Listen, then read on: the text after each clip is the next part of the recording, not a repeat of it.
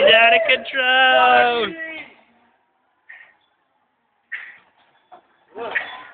Looking pretty close, aren't?